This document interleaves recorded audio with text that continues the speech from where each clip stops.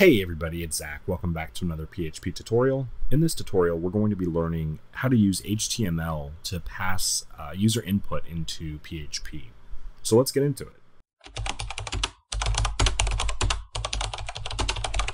Alright guys, so this will come in very handy when say you want to do like a uh, user registration or user login. Uh, PHP doesn't display uh, to the user at all uh, however, HTML does. The difference between HTML and PHP is that HTML is executed locally and PHP is executed on the server. So you can't, a user can't pass something directly to PHP. It has to be intercepted by the HTML first. So in order to get user input into PHP, we have to combine both of those two elements. So let's go ahead and open and close our PHP tags and we are going to create an HTML document below that. And we're going to name this, I guess, user input. Okay, now in the body section, what we need to do is we need to open our um, tag, I guess you would call it. And we're going to type in form action equals double quote and in here, this is the page that you want to process the information. So in this case, we want tut.php to process this. So tut.php, the method is going to be post, and you can go ahead and close that off.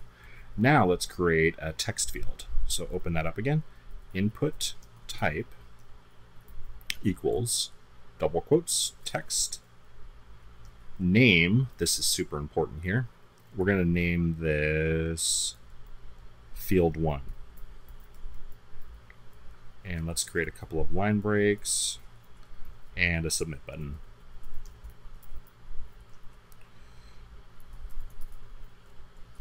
And let's go ahead and close out our form. So now if we come back here and refresh our page, we have our input field and our submit button. So we could do whatever we want in here. It's not going to do anything.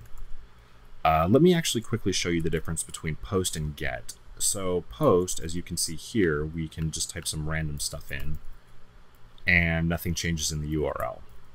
However, if we change this to get, if we save that and refresh this, oh, no, don't do that. Save that, refresh. Uh, now if we type in some random stuff, field PHP question mark field one equals. So we could technically change the input from the URL. So that's the difference between post and get. Get is visible in the URL, post is not. I prefer to use post, it keeps the URL looking cleaner. And if you're doing uh, like a login form, uh, always use post.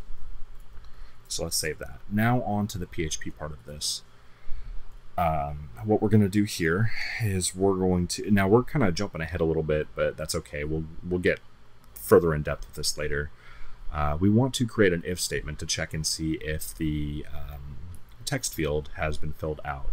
So what we're going to do is we're going to say if brackets isset brackets again dollar underscore post square brackets single quotes field one, because that's what we named that down here.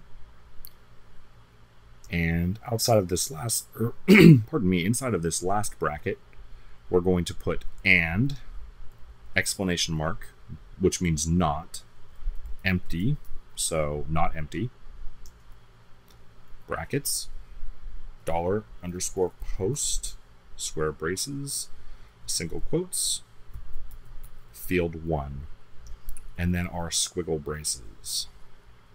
So basically what this statement is saying, it's saying if field one, our input field here, is not em- is filled out and not empty, run whatever's in between those two braces.